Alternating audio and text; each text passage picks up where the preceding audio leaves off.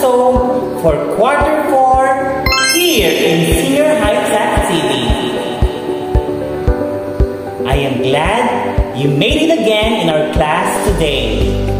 I am Teacher Ernes and together let us discover life in the exciting world of biology. If you are ready to learn, please wash or sanitize your hands, wear your face mask, and stay on your respective learning area. Don't forget to bring with you your learning materials, pen, and notebook. Please behave, listen, and take note of the important concepts of our lesson for today. Trivia time! Did you know that plants differ from animals in their manner of growth? As young animals mature, all parts of their bodies grow until they reach a genetically determined size for each species. Plant growth, on the other hand, continues throughout the lifespan of the plant and is restricted to certain meristematic tissue regions only. Are you excited for another amazing biological science adventure? Let's start! Before that, let's play a game called Choose the Best. Here are the mechanics of the activity. I will show you a statement. Choose the best answer in 5 seconds. Are you ready, my dear STEM learners? Let's go! Number 1. Plants absorb nutrients through their blank. Letter A. Flowers. Letter B. Leaves. Letter C. Stems. And letter D. Roots.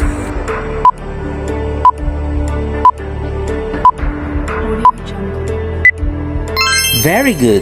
The correct answer is letter D. Roots. Number 2. The main mode of nutrition in plants is blank. Letter A, autotrophic. Letter B, heterotrophic. Letter C, saprophytic.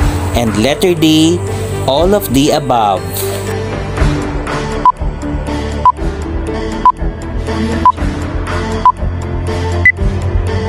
Definitely, the correct answer is letter A, autotrophic. Number 3. Which of the following statements is true about animal nutrition? Letter A. Omnivores eat only plants. Letter B. Carnivores eat other animals. Letter C. Herbivores consume both plants and animals. Letter D. All of the above.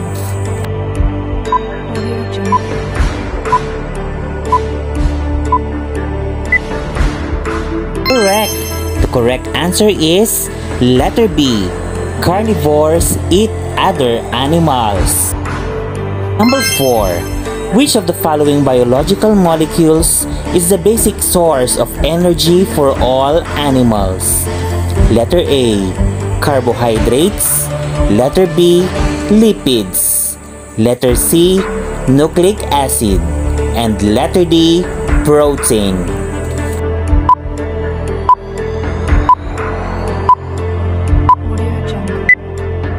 If your answer is letter A, carbohydrates, then you are correct. Number 5. Which of the following biological molecules forms the framework of an animal's body? Letter A. Carbohydrates. Letter B. Lipids. Letter C. Nucleic acid. And letter D. Proteins.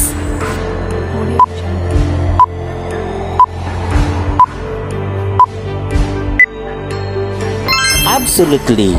The correct answer is letter D. Proteins. Amazing, my STEMigent learners! Let us discuss this further, so stay focused and don't go away. Let's play another game called Fix the Word. Here are the mechanics of the activity. I will flash a jumbled letters and with it is its definition. Guess the jumbled letters in 10 seconds. Write your answer in the comment section below. Are you ready, my dear STEMigent learners? Let's begin. Number 1. It is a muscular bag and it churns the food to help break it down mechanically as well as chemically.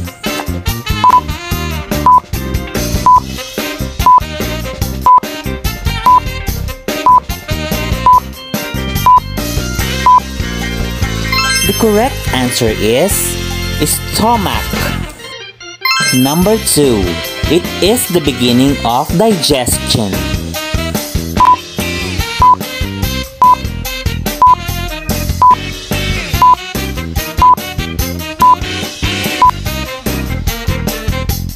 Correct answer is mouth. Number 3. Absorption of peptides, amino acids, glucose, fructose, fats, and water happens here.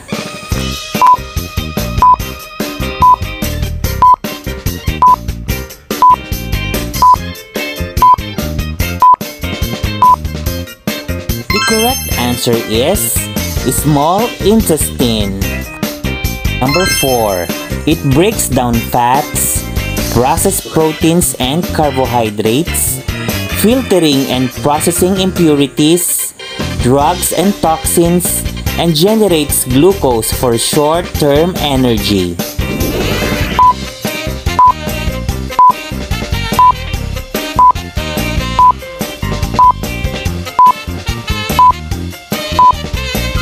Correct answer is liver.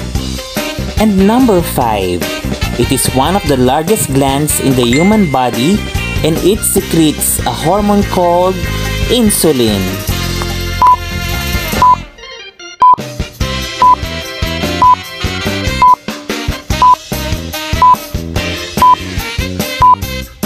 Very good. The correct answer is pancreas.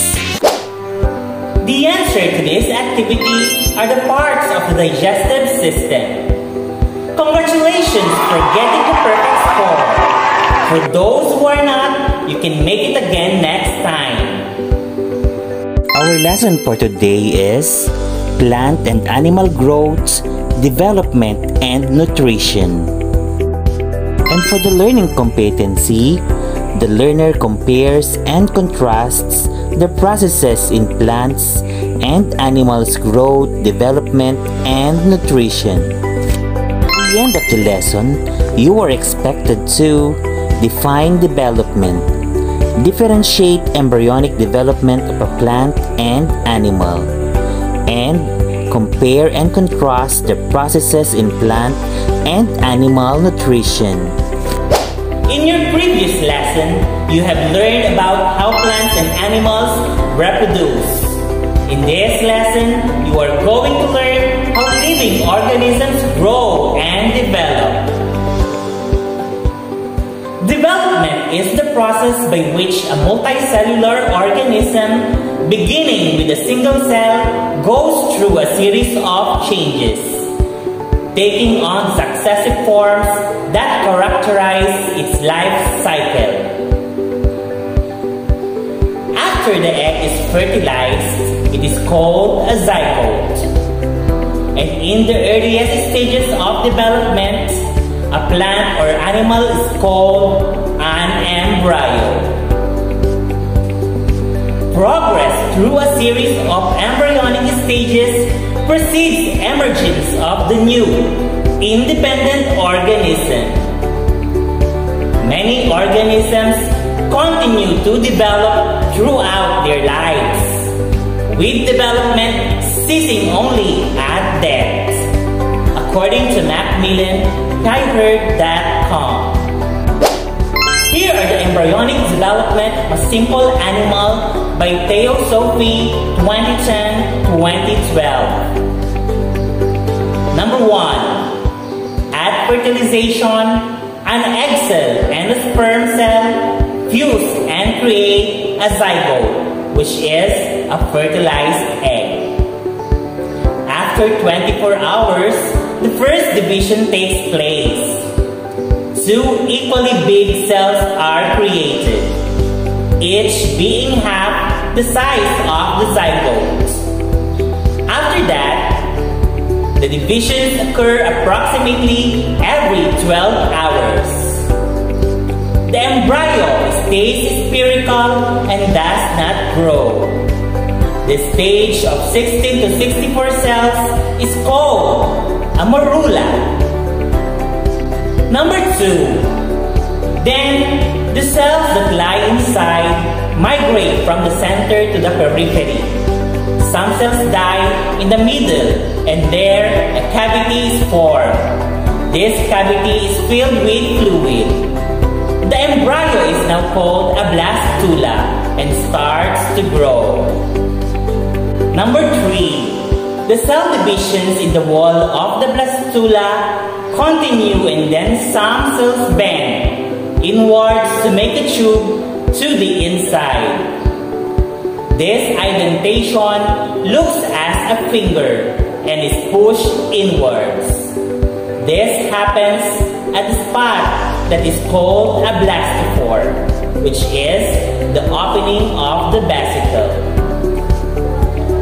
The embryo in the new breakthrough forms the mouth. Between these two, a tube is formed that will become the digestive tract.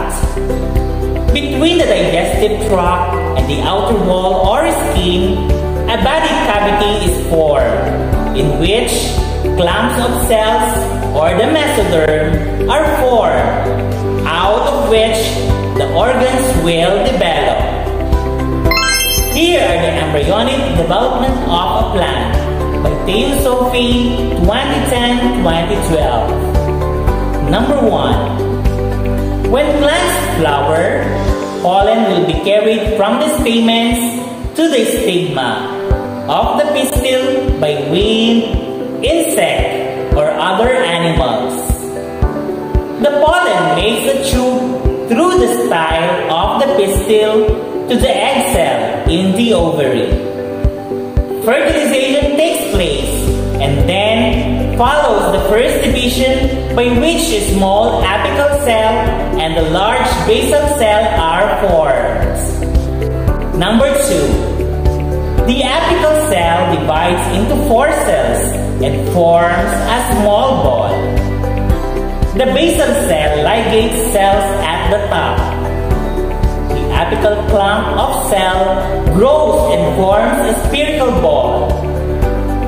The lower part with the basal cell stops growing and dividing quite soon. This part is called the suspensor.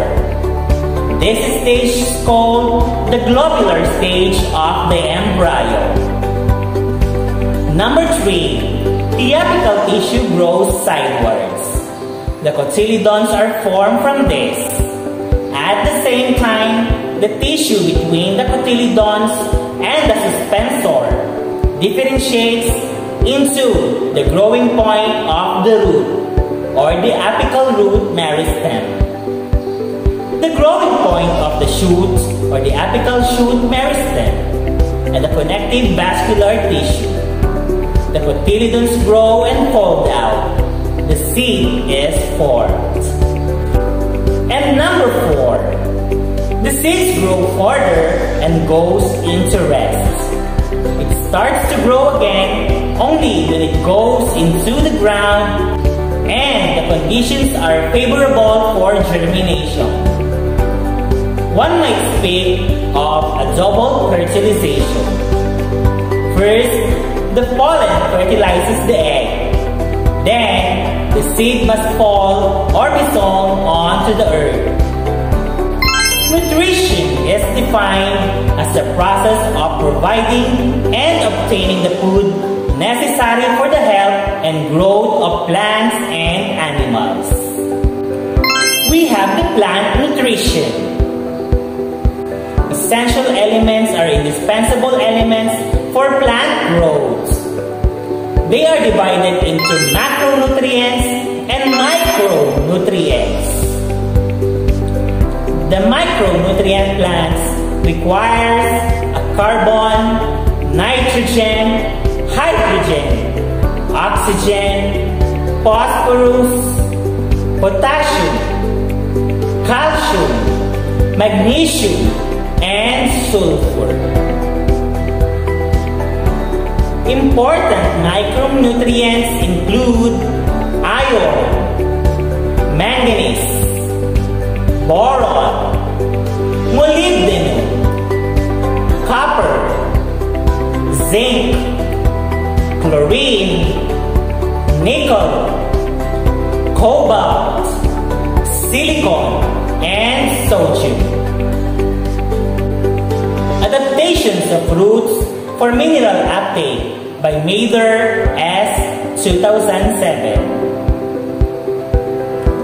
minerals and enter a plant at its root system. And two mutualistic relationships assist roots in fulfilling this function.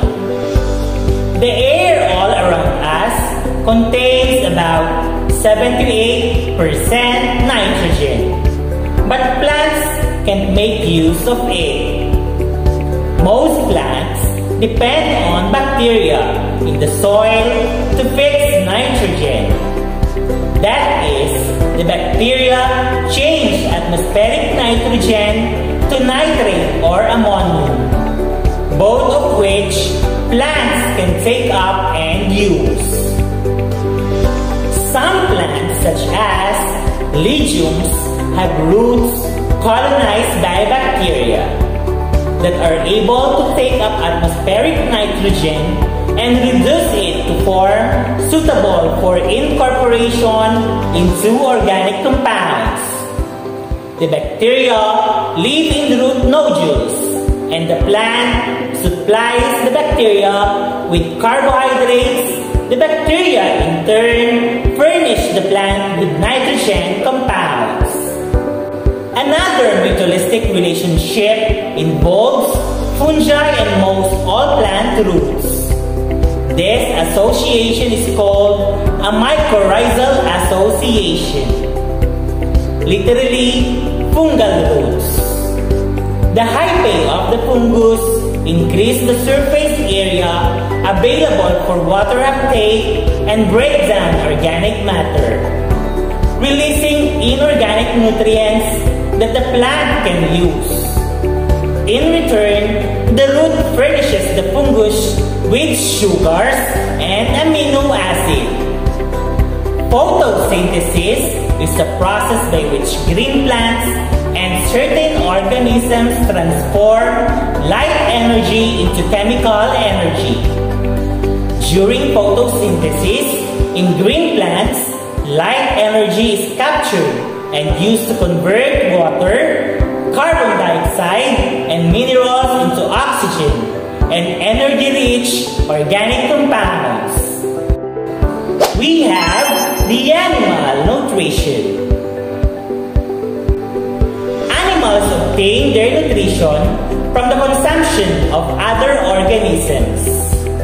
In the course of evolution, animals have formed ways to obtain process and digest food as heterotrophs. Generally, animals need carbohydrates, lipids, and proteins as basic organic compounds and supply of vitamins, minerals, and water as additional requirements. Carbohydrates serves as energy stores in which the energy to form ATP or adenosine triphosphate is derived. Essential fatty acids and amino acids are obtained either from gut symbionts or direct food sources. Vitamins, similar in plants, are organic compounds that are only needed in minute amounts, but essential for metabolic functions. Minerals are also needed for ion exchange, body component, and ATP production. Animals must convert these macromolecules into the simple molecules required for maintaining cellular functions, such as assembling new molecules, cells, tissues. The conversion of the food consumed to the nutrients required is a multi-step process involving digestion and absorption.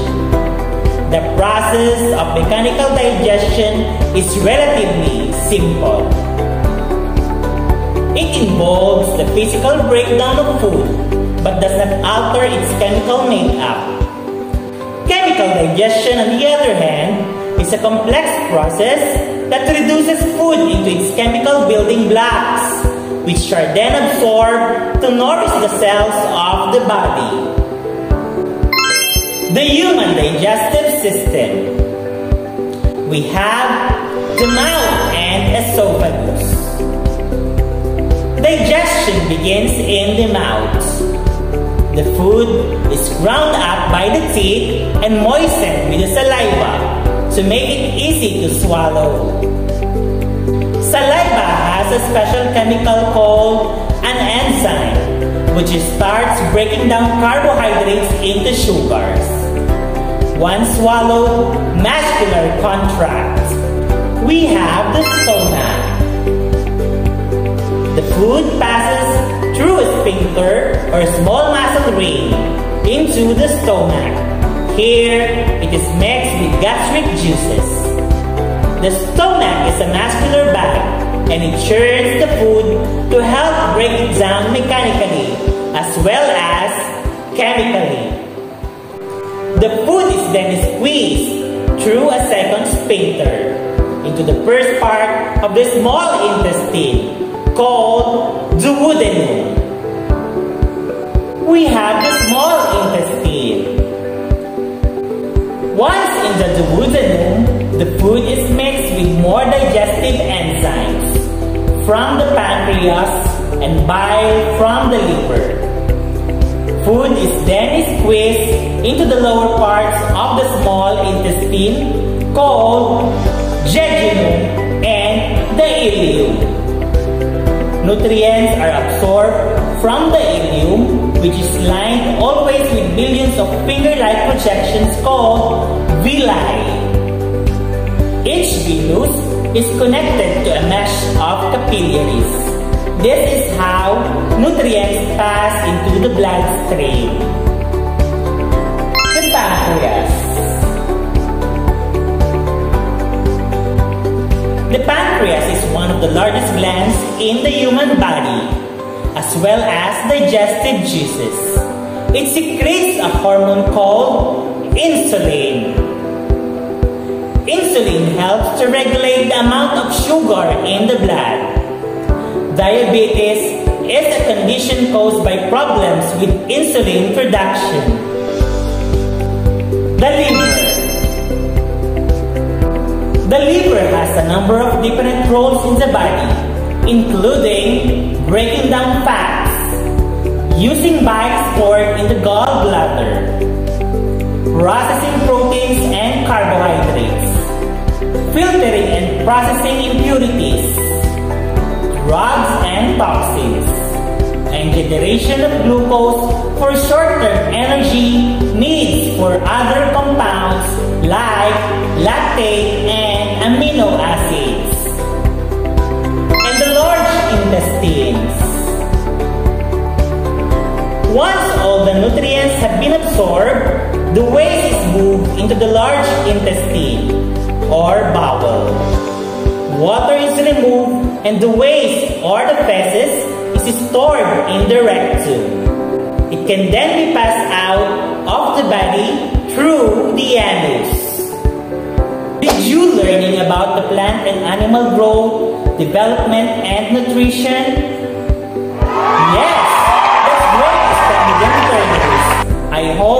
You appreciate how organisms grow and develop. Based on your understanding, what do you think it is important for organisms to grow and develop? I will give you 25 seconds to type your answers on the chat box below.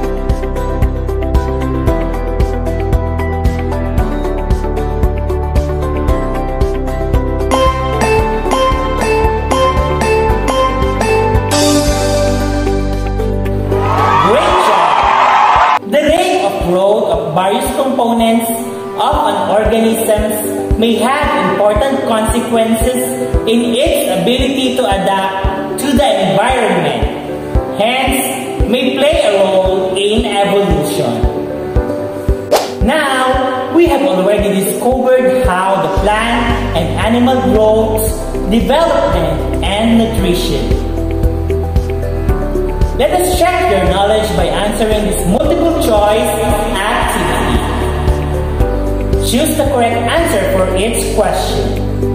Bring out your pen and quiz notebook. And let's begin. Are you ready? Let's start! Number 1. The earliest stages of development in a plant or animal is called blank. Letter A. Blastula. Letter B. Embryo. Letter C morula, and letter D, zygote.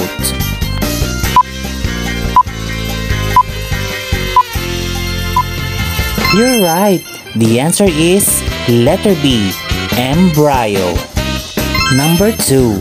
Which of the following terms is also called as the opening of the vesicle?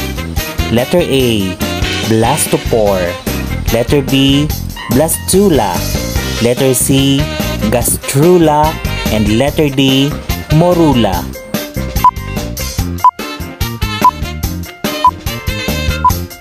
Correct. The answer is letter A, blastopore. Number 3. What part of the digestive system is the duodenum usually found? Letter A, esophagus. Letter B, liver. Letter C, small intestine and letter D stomach.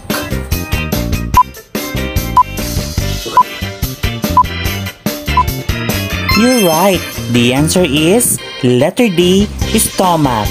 Number 4. What part of the digestive system secretes a hormone called insulin? Letter A, esophagus. Letter B, liver. Letter C, pancreas. And letter D, large intestine.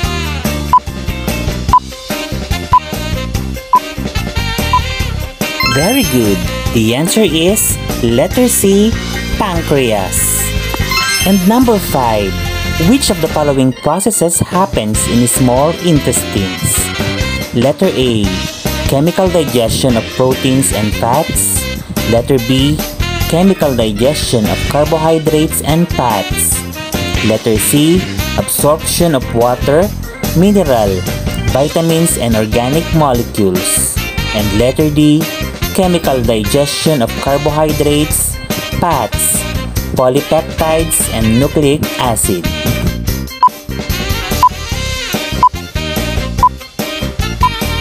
You got it right. The answer is letter D.